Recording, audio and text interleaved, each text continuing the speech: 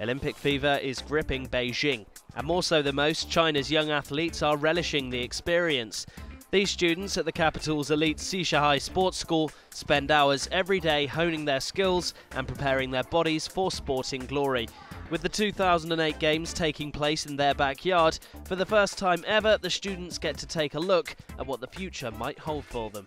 It's certainly inspirational. Those who go to this school are genuinely considered China's next sports stars. Xishahai has nurtured 31 Olympic and world champions, but success certainly comes at a price.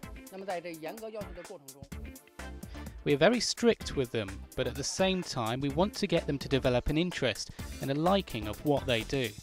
When a person likes what they do, they have the ability to succeed. They can get to a very high level.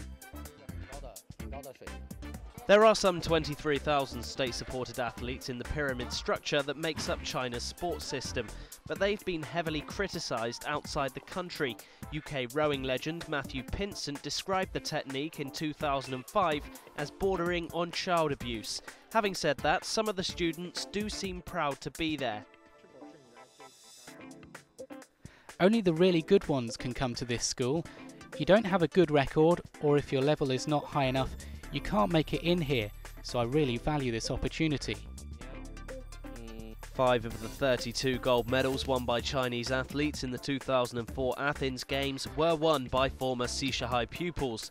The school is therefore anxiously waiting to see how it fares on home soil this summer.